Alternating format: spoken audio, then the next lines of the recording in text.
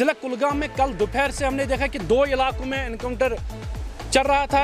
चाहे हम मोटर गाम कुलगाम की बात करेंगे यहाँ चीनी गाम कुलगाम की बात करेंगे, इस वक्त हम चीनी गाम कुलगाम में मौजूद है और यहाँ पे इस वक्त सूत्रों के अनुसार यही में पता चल रहा है कि यह एनकाउंटर जो है ऑपरेशन क्लोज कर दिया गया है सुरक्षा बल की जानब से।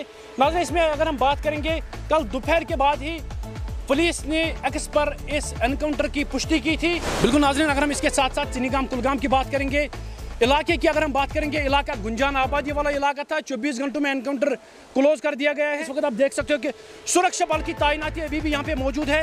मगर अगर हम जिला कुलगाम के मटरगाम इलाके की बात करेंगे, वहाँ पे एनकाउंटर अभी भी जारी है। सूत्रों के अनुसार यही बताया जा रहा है कि मोटरगाम में अभी भी कुछ मिलिटेंट्स के छुपे होने की आशंका बताई जा रही है। जदीद वेपन्स का इस्तेमाल किया गया ड्रोन का इस्तेमाल किया गया मिलिटेंट्स को तलाश करने के लिए। सुरक्षा बल ने इस इलाके को अपने तहवील में लिया था और यही बताया जा रहा है कि चार मिलिटेंट्स को यहाँ पे न्यूट्रलाइज किया गया है।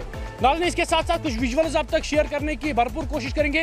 नाजरीन, ये एनकाउंटर तब शुरू होता है जब सुरक्षा बल को एक मसद का इतला मिलती है कि इस इलाके में मिलिटेंट छुपे हुए हैं और जो ही सुरक्षा बल ने इलाके को अपनी तहवील में लिया कार्डन और सर्च ऑपरेशन चलाया गया और उसके फ़ौरन बाद जो मिलिटेंट से उन्होंने सुरक्षा बल पर गोलियाँ चलाई और उसके बाद ही जो तलाशी अभियान है, वो एनकाउंटर की शक्ल इख्तियार कर गया।